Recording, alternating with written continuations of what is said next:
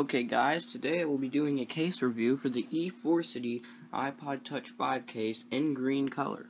I mean 4, iPod Touch 4. Okay, so right here we have the iPod Touch. You know, just the normal iPod Touch 4.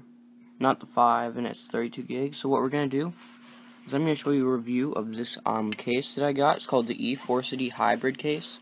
And it's in three parts, so it is a little bit protective.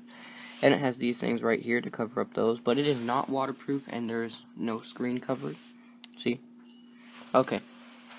So first I'm going to show you how to assemble it. So first you'll take the iPod like this, and you'll put it, see like right here, you'll put it in here. So you can see how it would cover the front. Then you take the back piece, and you slide it in, like this. And you have to clip down all these little things, all around it, if you can hear it okay? So you can see how the iPod fits in here but you can't really reach any of the buttons at all because this part that's where this part comes in. So you're gonna slide it in and you're gonna put this around the edges of the case and you can see you have to put it all like all these things you have to push them in like that. And there's some more right here do that. And then there you go and this is pretty much the case, like right here. As you can see, there's a hole for the camera, and I'm pretty sure that's a microphone.